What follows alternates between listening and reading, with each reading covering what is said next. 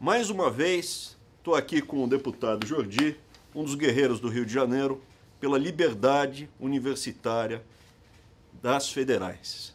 E um, uma denúncia horrorosa chegou para nós através do movimento UF Campo dos Goitacazes Livre. São jovens que se mobilizam para lutar pela liberdade.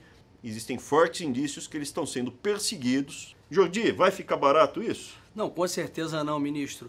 Eu conheço o movimento UF Livre já há algum tempo, já desde 2016 já acompanho a luta deles, sei que eles lutam realmente por um ambiente acadêmico plural, que possa ter todas as correntes ideológicas, filosóficas e políticas, e eles estão agora sofrendo uma perseguição por parte do diretor Roberto César Saraiva, o diretor do Campus de Campos, e que insatisfeito com a postura deles de lutar por liberdade e denunciar a prática de doutrinação ideológica, de uso do espaço acadêmico para fins político-partidários e também o assédio moral, ele, mais uma vez, mostrou que o que eles defendem não é a liberdade de expressão e nem pluralidade política.